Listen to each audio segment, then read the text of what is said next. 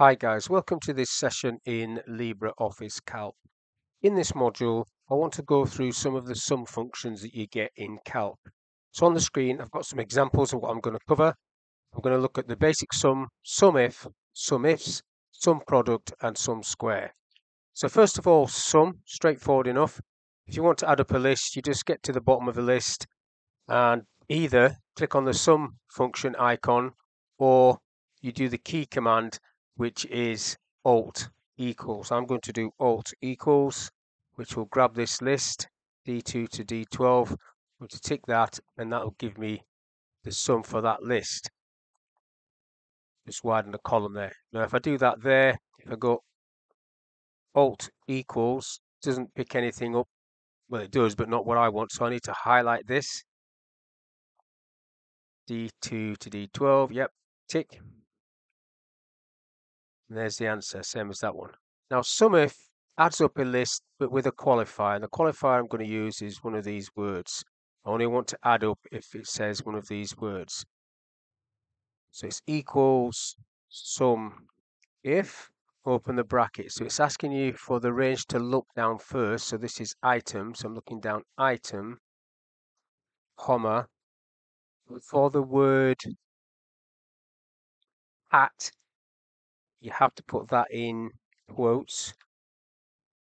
And when I find it, comma, I want to add up the price like so. Close the bracket, click the tick. 465, so there's one part there and another one there. Hold my control key down, down the bottom here. 465. So that was sum if. We have one criteria, but sum ifs gives you the option for multiple criteria. Slightly different syntax, but let's have a look. Equals sum ifs. Open the bracket. You're selecting the range first. Sum range first. So I'm highlighting this list. Then I'm doing a comma.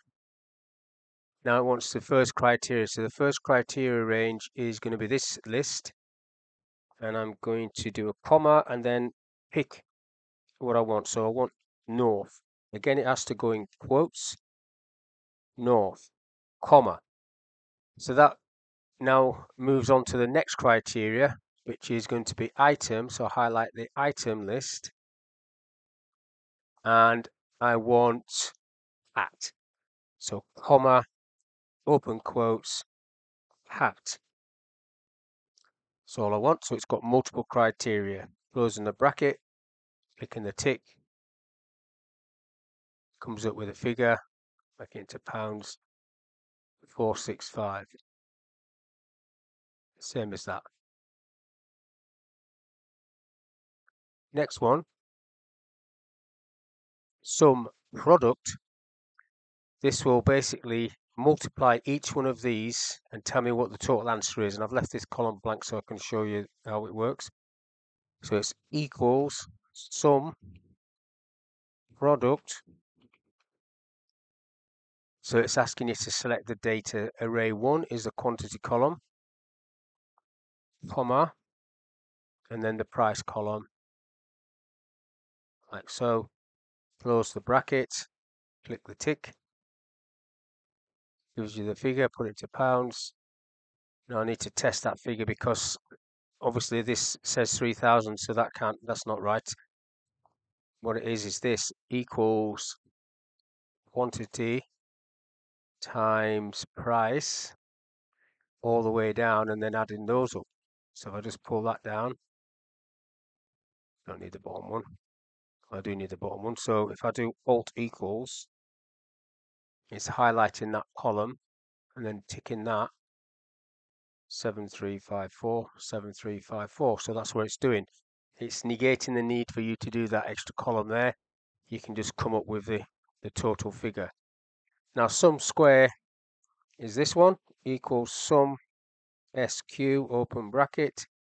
I'll just click on one cell for now two and then tick that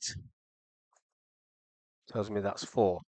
But what you can do is this equals sum sq, open the bracket, click on the first one, I'll click on 2, do a comma and click on 3. So square root of 3 is 9, square root of 2 is 4. Close the bracket on that.